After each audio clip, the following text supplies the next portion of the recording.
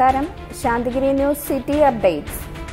ധാരാളം മെഡിക്കൽ കോളേജുകൾ സ്ഥാപിച്ചിട്ട് കാര്യമില്ല. നല്ല സൂപ്പർ സ്പെഷ്യാലിറ്റി സൗകര്യമുള്ള ആശുപത്രികളാണ് നമുക്ക് വേണ്ടതെന്ന് മന്ത്രി കെ കെ ശൈലജ ടീച്ചർ അഭിപ്രായപ്പെട്ടു.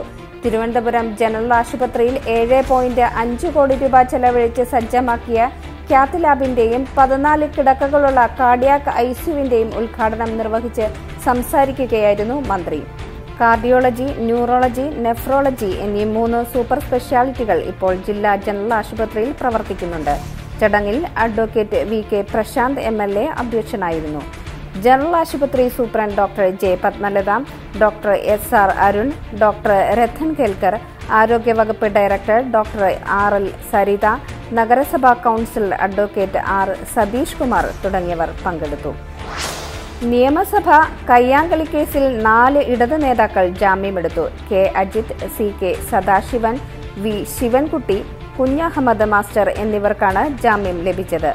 ഓരോരുത്തർക്കും മുപ്പത്തി അയ്യായിരം രൂപയുടെ ജാമ്യമാണ് നൽകിയത്. മന്ത്രിമാരായ കെ. ടി. ജലീലും ഇ. പി. ജയരാജനും ജാമ്യം എടുത്തിട്ടില്ല. കേസ് പിൻവലിക്കാനുള്ള സർക്കാർ ഹർജി സി. കോടതി തള്ളിയിരുന്നു.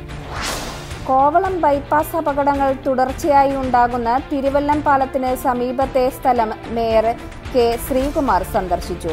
അപകടങ്ങൾ ഒഴിവാക്കുന്നതിനായി കോവളം പാച്ചല്ലൂർ ഭാഗത്തു നിന്ന് വരുന്ന വാഹനങ്ങൾ പഴയ പാലത്തിലേക്ക് പ്രവേശനം നൽകാതെ ദേശീയപാത വഴി തിരിച്ചുവിടാനും തിരുവല്ലം ജംഗ്ഷൻ ഭാഗത്ത് ബൈപ്പാസ് റോഡിന്റെ വീതി വർദ്ധിപ്പിക്കാൻ നാഷണൽ ഹൈവേ അതോറിറ്റിയുമായി ചേർന്ന് ധാരണയിൽ എത്തിയതായും സ്ഥലം സന്ദർശിച്ച ശേഷം മേയർ പറഞ്ഞു.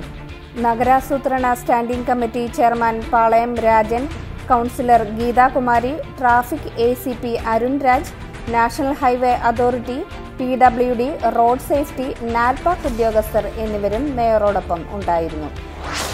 സെക്രട്ടേറിയറ്റിലെ തീപിടുത്ത വിവാദത്തിലെ പുകപടലം ഒടുങ്ങുന്നില്ല. തിരുവനന്തപുരം സി ജി എം കോടതിയിൽ ഷോർട്ട് സർക്യൂട്ട് അല്ല തീപിടുത്തത്തിന് കാരണമെന്ന് കാട്ടി ഫോറൻസിക് സമർപ്പിച്ച റിപ്പോർട്ട് തന്നെയാണ് കാരണം. മുറിയിലുണ്ടായിരുന്ന സാനിറ്റൈസർ ഉൾപ്പെടെയുള്ള വസ്തുക്കൾ കത്തിയിട്ടില്ല. ഫയലുകൾ മാത്രമാണ് കത്തിയതെന്നും റിപ്പോർട്ടിൽ പറയുന്നു. നേരത്തെ പ്രാഥമിക റിപ്പോർട്ടിൽ തീപിടുത്തത്തിന് കാരണമായി പറഞ്ഞിരുന്നത് ഷോർട്ട് സർക്യൂട്ട് എന്നായിരുന്നു. ഇതിനെ തള്ളിക്കൊണ്ടുള്ള ഫോറൻസിക്കിന്റെ കണ്ടെത്തലിൽ അത്ഭുതപ്പെടാനില്ലെന്നും സർക്കാർ വാദങ്ങൾ അമ്പെ പൊളിഞ്ഞെന്നും K P C C president Mullappally Ramachandran പ്രതികരിച്ചു.